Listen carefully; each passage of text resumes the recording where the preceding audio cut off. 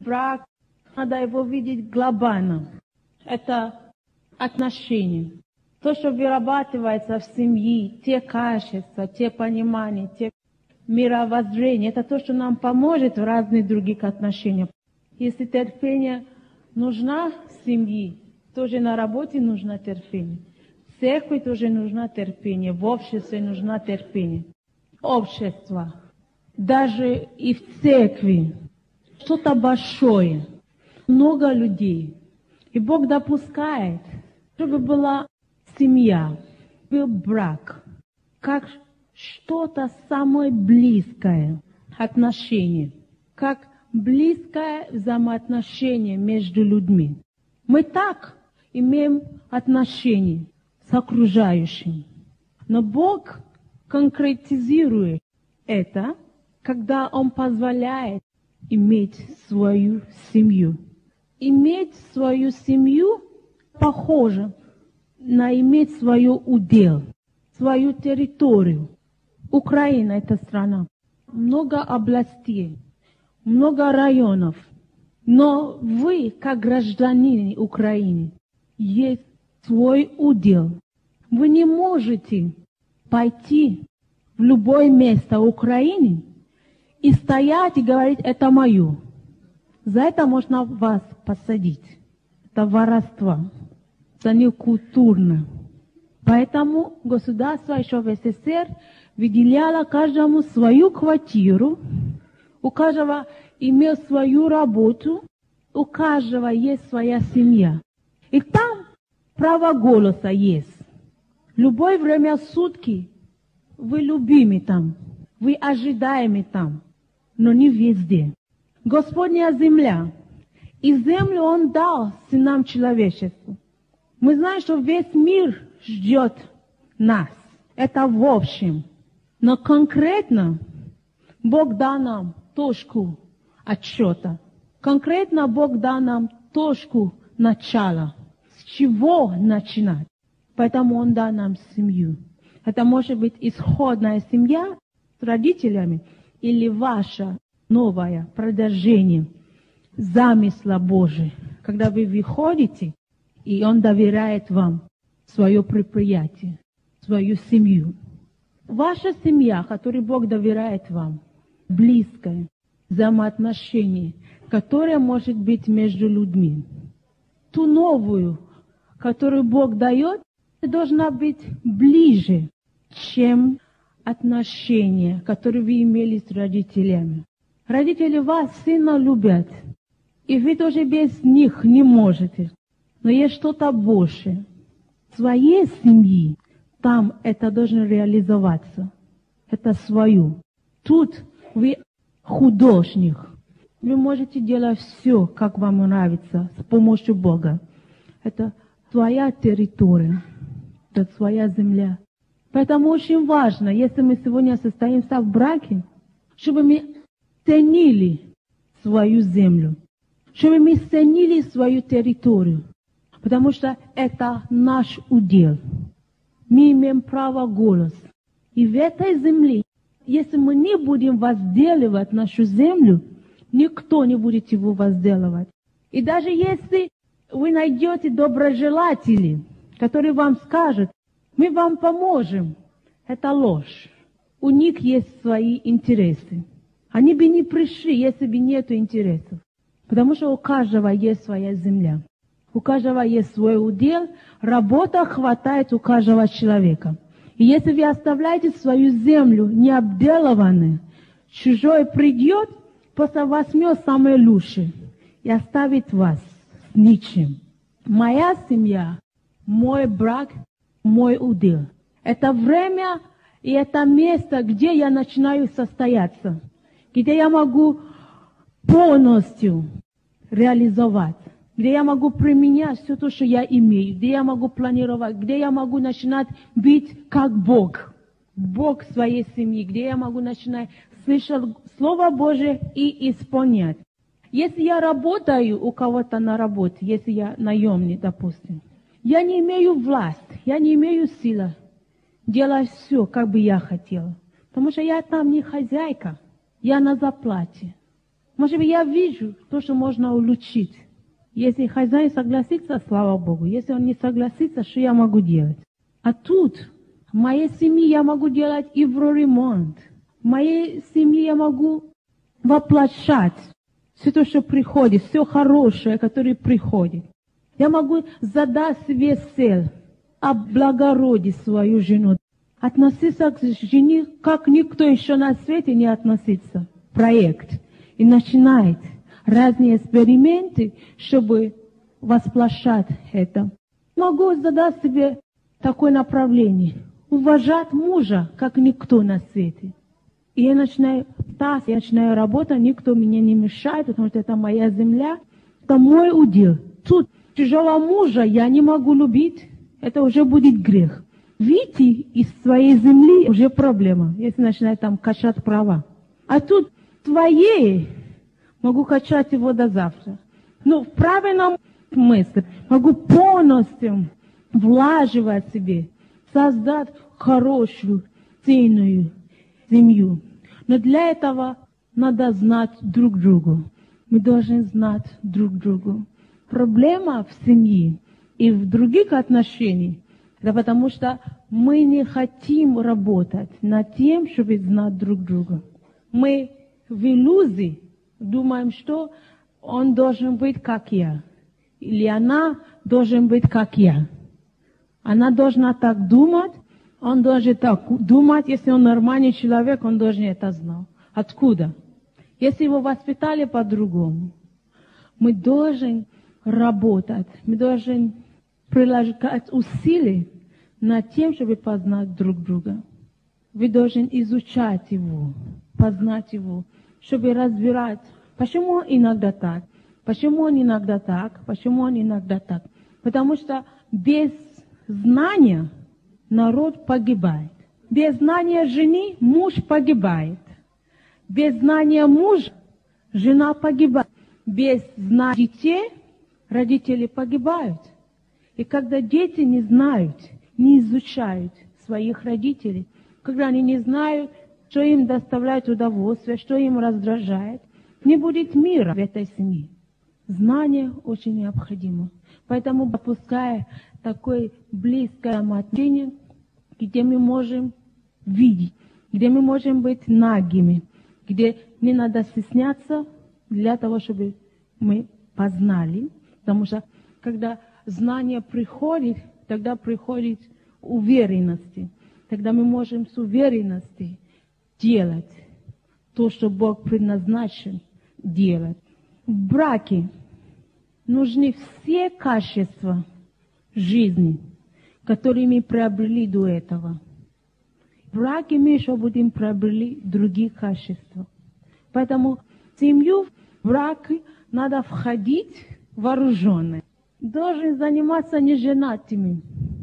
Вооружение себя, а не переживание.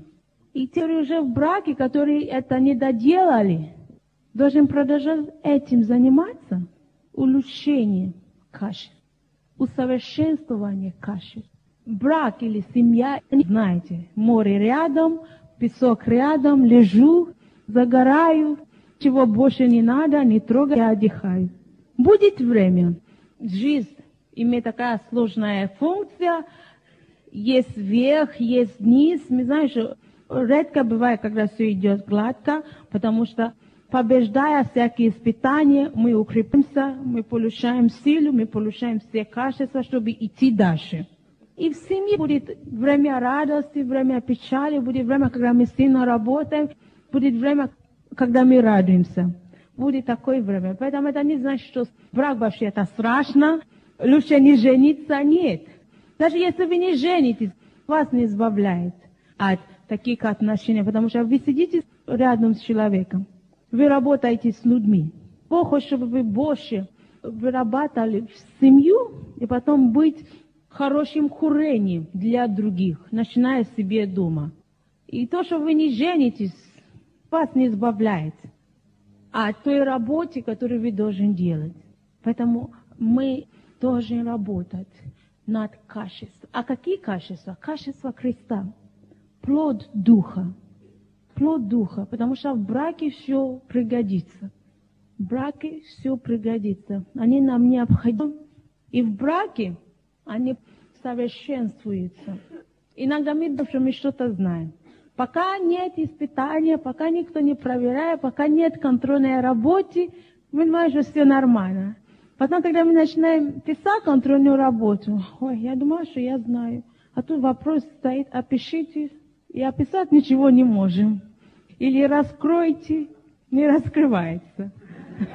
А до этого мы были уверены, мы думаем, что все знаем. Когда мы не состоимся в браке, мы работаем.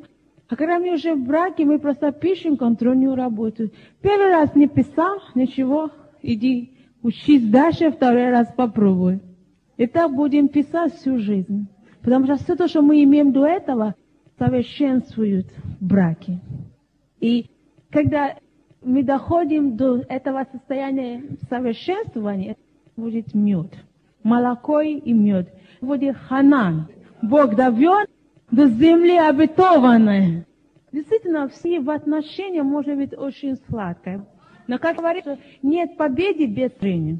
Мы должны сражать самим собой. Мы должны усмирять себя. Мы должны поставить второго выше себя.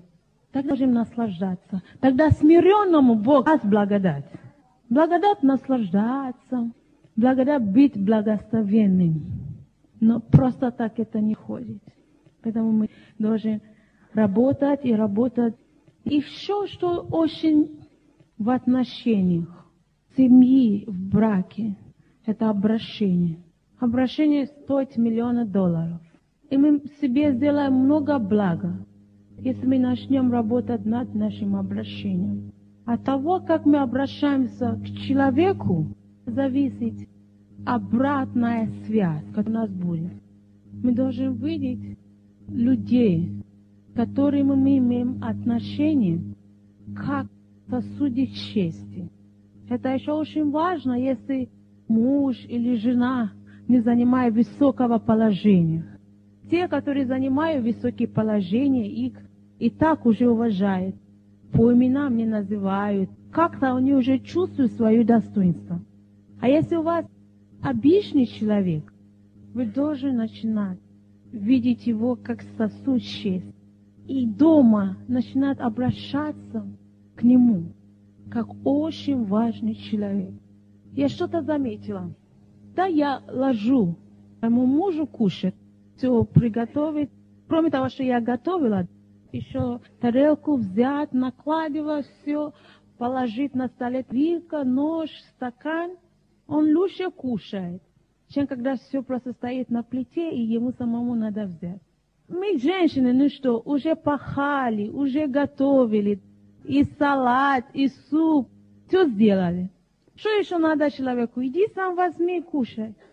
Но когда мы уважаем человека, и когда у нас есть возможность, если мы еще идем на один шаг больше, просто человеку приятно, знаешь, заходишь, все как в ресторане. У меня вообще есть мечта, чтобы у нас дома все было как в ресторане. Вы заходите в ресторан и кушать хочется. Потому что атмосфера просто хорошо. Что хотите, что вы хотите, что вы будете пить. Вам показываю меню, рассказываю, что там входит. Аппетит, вы уже не можете дождаться, что будет. Когда вы заходите в дом и на столе вы видите стакан, салфетки, нож, вилка, все там лежит. Просто хочется. Хотя в процентном отношении это мелочи из того, то, что вы уже сделали. Пошли на базары, все выбрали, купили, пришли домой, приготовили. Даже важный час настало чуть-чуть вот это обращение. Донести до дела до конца. Очень важно наше обращение. И тоже иногда мы как мужчины говорим, иди, погладь меня в руки, я через пять минут ухожу. Ну, уходи. А можно сделать то же самое по-другому. Можно подойти и сказать, дорогая, могла ли ты помочь мне погладить руки? Или ты не занята, ты свободна, ты можешь это сейчас сделать? Или я нуждаю в твоей помощи. Это вообще для женщин это классно. Нуждают. В принципе, то же самое, да? То же самое, иди погладь. Мысли одно и то же. Гладить, глагол, гладить. Но обращение очень важно. И надо так, обратятся к вам, все желания пропадет. А в семье никуда деваться. То, что называется, поддерживайте руку друг другу. Помогайте друг другу. Относитесь к другому человеку, как бы вы к себе относились. И то же самое с детьми, если у вас есть дети. То же самый принцип работы. Обращение. Обращение. Слово «пожалуйста». Она располагает. Почему Бог говорит, ходим врата со словословием? Потому что хвала располагает сердце Бога. Не знаю, что Бог не хочет делать. Бог хочет делать. И Бог в состоянии делать. Но хвала располагает больше. Любая жена в радости погладит мужу брюки. Но мы знаем, что жена же не сидит и ждет, когда вы брюки приносите. У нее есть другие дела. Поэтому хорошее обращение делает плавный переход из одного дела в другой и тоже хорошее отношение к мужу, к детям. Вы сами понимаете, что слово, которое мы говорим, имеет большую силу. И как преподнесем, так и получим. Поэтому два раза надо подумать, прежде чем сказать обращение. Даже когда вы делаете что-то доброе, это еще не значит, что вы можете это делать как хотите. Возьми, пожалуйста. Я хочу благословить вас. Это тоже друг другу. Вот, в церкви, в обществе. Это располагает. Это укрепляет отношения. Делает его богаче. Еще в нашем обращении важно, чтобы мы сопереживали с друг другом. И чтобы мы вникали. Не делать, но вникали дела партнера. У каждого есть на тебя вникать. Знаете, когда нам не приходится что-то делать, кажется, что там все просто. И то, что мы делаем, тяжело, а то, что другое делает просто. Поэтому мы начинаем пренебрегать то, что другое делает, и возвышать то, что мы делаем. Но когда у нас будет чувство переживать, ставить себе на место другого. Некоторые мужчины, они не знают, что не всегда легко даже готовить. Особенно если три раза в день надо готовить. Они иногда не понимают, что женщинам иногда им приходится просто стоять в кухне. Иногда у меня бывает такое. Стою в кухне и даже не знаю, что готовить. Вчера это кушала, позавчера это кушали, курицы кушали, рыбу уже не... Вот это искусство, вот это процесс. Некоторые люди даже не понимают, они думают, что там ты дома сидишь, ничего не делаешь. Один плюс один, суп, э, воду, соль. Если бы вода и соль, мы бы не поправлялись. Иногда мы, как женщины, мы не ценим труд мужа. Особенно если мы дома, мы ждем, мы ждем, он придет и начинаем его нагружать. Такое впечатление, что он просто вышел погулять. Что он сейчас пришел домой, давай, работай. Мы должны сопереживать друг с другом. И если это муж придет, надо всегда заинтересоваться, что было дома. Как дела дома? Что было? Какие трудности? Или если эта жена откуда-то пришла, как у вас дела дома? И мы тоже, которые дома, мы даже, как дела на работе? Некоторые мужчины так страдают от того, что жена ни разу не спросит, как дела на работе. Чтобы действительно переживали. Обычно спрашивают, как дела? Все в порядке? Будет заплата? Не уволили тебя? Вот, вот в таком поверхностном отношении. Чтобы проникать в душу, мы этим не занимаемся. А переживать друг за другом. Довести человека до состояния, чтобы он раскрыл свою душу, чтобы мы поддержали. Тогда человеку не будет страшно действительно быть наги перед вами. И он не будет стесняться. Потому что он знает, даже если он ошибся, он знает, вы будете его поддерживать. Руку. Вместе вы видите, вместе вы все исправите. Он никогда не будет насмехаться на вас и никогда не покажет соседу, насколько вы плохие. Сопереживать друг с другом. Ценит труд каждого человека. Сопереживать с другом. Ценит. Каждый человек важный, каждый человек уникальный. Я, я повторяю не только в семье. Иногда в церкви некоторые люди думают, ну там лидер, я тоже могу быть лидером. Что он там делает? Берет всю славу, а мы тут пахаем. Ему дадут работу, придет к нам, расскажет нам, больше фани, да? Но на самом деле, если мы просто ставим себя на его место, если мы поймем, что то, что он стал лидером, сразу на него без ад уже готов сражаться. Но мы же этого не видим. Нам физически слава, ему дарят магнитофон, телевизор, это то, что мы видим. А какие духовные атаки, какие духовные сражения, как он должен стоять за нас, это маловажно. Мы не видим, и не надо. Мне тяжело быть под ним, допустим. Но стоит просто ставить себе на его место, анализируя, что он делает, на какие собрания он должен ходить. Когда никого не будет, что он должен стоять. Как бы мы себе не повели, лидер должен и взять на ругание за нас и взять славу, тогда мы поймем, что не так просто. Любая работа, которую человек делает добросовестно, это простая работа. Мы должны переживать друг с другом. Очень важно. Еще в нашем понятии брака безусловная любовь важна. Без этого мы далеко не пойдем. Как я говорила раньше, очень просто, очень легко разочароваться в семье. Это дело одного дня. На второй день после свадьбы можно разочароваться. Очень просто разочароваться. Потому что другой человек, он не такой, как мы. Он отличается. Поэтому в укреплении союз очень важно, чтобы мы решили вопрос любовью в своей жизни. Чтобы мы изучали, как Бог нас любит, и чтобы мы приняли решение любить другого человека, как Бог нас любит. И для этого знаете, что нам поможет больше всего? Принять решение любить человека без возврата.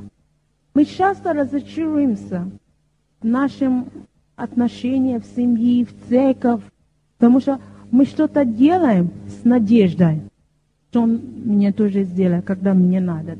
А когда наступает время, когда вам надо, а он ничего не делает, это катастрофа. Когда любви нету в церкви, тогда он меня не любит, тогда она меня не понимает, тогда она меня не жена, тогда она не заботится обо мне. И проблема, одна проблема на другая проблема просто начинает. Раньше у нас была извращенное понятие любви. В основном у нас была страсть и все. И эта любовь, она хватала только пока есть чувство. А как только чувств нет, тогда ничего нет. Но Бог учит, что когда чувств нет, тогда все только начинается. Потому что мы живем не по видимому, а по невидимому. Когда уже чувств нет, значит Бог переводит на другую фазу, на другой уровень. Это значит Бог хочет укреплять нашу любовь. Значит Бог хочет закреплять любовь. Поэтому, когда чувств нет, Бог всегда есть. И на Бога можно полагаться, и Бог не подведет. Аминь? У нас должна быть безусловная, безвозмездная любви к церкви и семьи, и в общество. Семья, брак хорошо для нас. Отношения – это хорошо для нас. Правильно Бог говорит, нехорошо человеку быть одному. Допустим, я узнала себя больше после женитьбы, чем до женитьбы. До женитьбы я думала, что я очень хорошая. Настоящий человек обнаруживается в отношениях. Пока не надо писать контрольную работу, все понимаем, все знаем. Как только надо писать, тогда все знания куда-то деваются. То вы есть на самом деле – обнаруживается в отношениях. В семье, это в церкви, это в обществе. Когда соединение начинается, тогда вы можете оценивать уровни терпения, уровни любви. Вы можете видеть, вот то, что Библия говорит, что теста человека несовершенен. Вы начинаете это все видеть. Пока вы одни, как Адам был один. Он был среди этих животных. Не так страшно было. Но когда начинаются отношения с лидером, мужем, женой, давление на вас, и натуральный сок должен выйти. Какое оно есть на самом деле. Сладкое, горькое, все как есть. Уже нету времени притворяться. До сахара далеко, мед далеко. Все как есть на самом деле. Что есть на самом деле. И вы знаете, кто-то говорит, что нет ничего ужасного в этом мире, чем плохой брак. Если вы раньше представляли себе что-то ужасное, один человек делает вывод, что в этой жизни нет ничего хужего, и это союз плохой. Вроде мы женаты, вроде мы находимся на состоянии, на положении счастья, а его нету. Куда нам идти? До женитьбы мы думаем, что поженимся, и каждый день солнышко, каждый день счастье. А вот поженились, всего нету. Или так стремились попасть в Америку, думаем, что приедем в Америку, все, на всю жизнь можно успокоиться. А вот приехали в Америку, еще хуже. Хоть тут сало есть, но человек сказал, что нет, и тоже человек говорит, что и с другой стороны нет ничего лучшего, чем хороший брат. Когда есть хороший брат, когда есть хорошее взаимопонимание, это самый большой хайп, который у человека может быть. Когда уважают, понимают тебе не на улице только, но в твоей замкнутой системе. Когда ты действительно являешься отцом, действительно является мать, когда зависели от тебя, когда тебя любят, когда ты можешь говорить, да, у меня хороший брат. Знаете, это сам хороший брат. Она работает на наше благосостояние. Он питает нас. Он прорастает все необходимое для нас. А если брак плохой, только яд. Если плохой, каждый день плохой. Хуже, хуже, хуже. Если хороший, каждый день лучше, лучше, лучше. В каком-то направлении надо расти и надо развиваться. Ничего на место не стоит. Если плохой, значит каждый день плохой будет. Вчера ругались, сегодня будем ругаться. И послезавтра тоже будет, если мы ничего не меняем. Но если оно хорошее, если оно строится на принципе Божьем. Сегодня они ругали, и завтра не будем ругаться. Оно будет расти, оно будет расти, оно будет расти. И стандарт брак. И в нашем другим взаимоотношениях это Слово Божие. Стандарт брака – это Слово Божие. Стандарт в браке – это Слово Божие. Почему я говорю? Потому что будет время, когда вам хочется не признавать Слово Божие, потому что вроде вам невыгодно. Особенно типа такой муж, глава, знаете, подчиняться, там, смираться. Хочется что-то другое. Хочется другая интерпретация. Не так. Но мы должны принять решение. Наш стандарт в семье притчи 30, 19 и притчи 10, 22. В одной из этих мест написано, кто нашел жену, получил благодать от Бога. До этого, да, мы жили в благодати. Но кто нашел жену, на одну степень больше. Бог его возвесил. На один порядок возвел его Бог. Потому что если один погоняет тысячи, двоем они будут погонять не девять тысяч. Если была бы два, было бы неплохо. Мы знаем, что если у нас машина или если у нас деньги, если у нас не будет правильное разумение, правильное отношение, ничего хорошего не будет от этого. Может быть, что-то маленькое, но если с правильным отношением, мы получим больше выгоды, чем у кого больше. Так что в заключение мы должны ценить те отношения, которые у нас есть. И сегодня в ваших молитвах до завтра молитесь, работать над этим – Тогда то, что мы будем слушать завтра, это будет больше благословений для вас. Но не забудьте то, что Бог говорит. Нехорошо человеку быть одному. Не забудьте все то, что мы прошли. Не забудьте эксперименты Божии. Не забудьте, как Бог нашел Еву для Адама. Не забудьте свое сотрудничество с Богом. Чтобы пришел прорыв в вашей жизни, в ваших отношениях, в ваших разумениях. Чтобы для тех, у кого семьи, чтобы переворот. Чтобы партнеры ваши просто заметили. Чтобы мы не переживали, если у вас нет семьи. Потому что на самом деле у вас семья есть. Бог никого не весит на воздух. У всех есть семья. Либо исходная семья, там родители ваши. Бог не хочет, чтобы вы висели на воздух.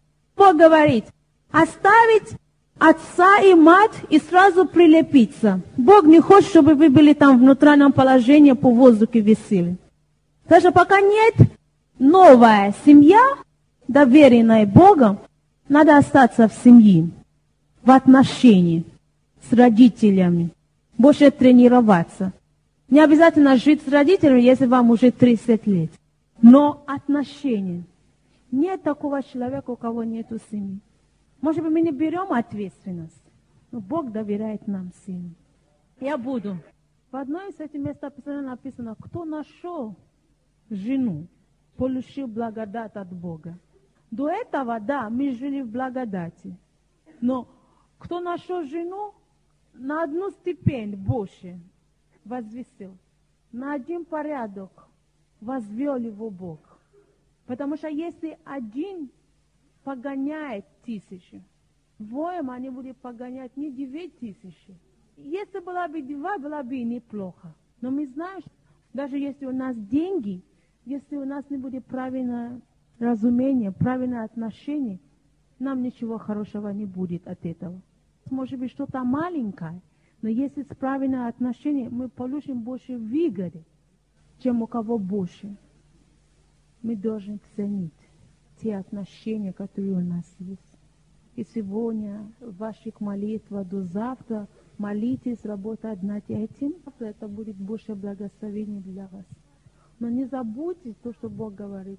Нехорошо человеку быть одному. Не забудьте, как Бог нашел Еву для Адама. Не забудьте свое сотрудничество с Богом.